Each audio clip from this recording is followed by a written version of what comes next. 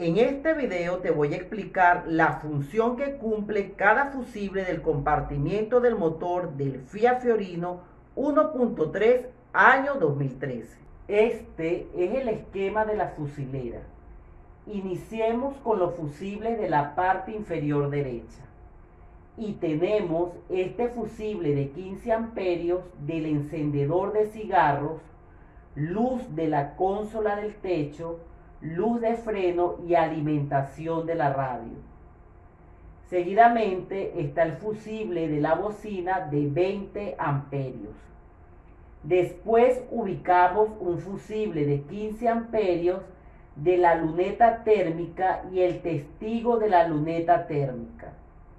Inmediatamente nos encontramos con este fusible de 15 amperios del limpia parabrisas y limpia luneta. Simultáneamente situamos otro fusible de 10 amperios de las luces de giro y el testigo de las luces de giro. Ahora está este fusible de 10 amperios de alimentación del cuadro de instrumentos, centralitas y relé, también de las luces de marcha atrás. Continuamos y localizamos un fusible de 20 amperios de la ventilación interna. Luego está el fusible del electroventilador de refrigeración del motor de 30 amperios. En este mismo orden tenemos este fusible de 10 amperios del compresor del aire acondicionado. Enseguida está el fusible del inmovilizador y comando relé de la inyección y es de 7,5 amperios. Posteriormente encontramos un fusible de 25 amperios que pertenece a la alimentación relé de la inyección. Culminando con esta fila se localiza este fusible de 7.5 amperios que es del comando del compresor de aire acondicionado. Ahora nos ubicamos en la fila de arriba y a la izquierda nos encontramos con un fusible de 15 amperios de la sonda Lambda electroválvula canister.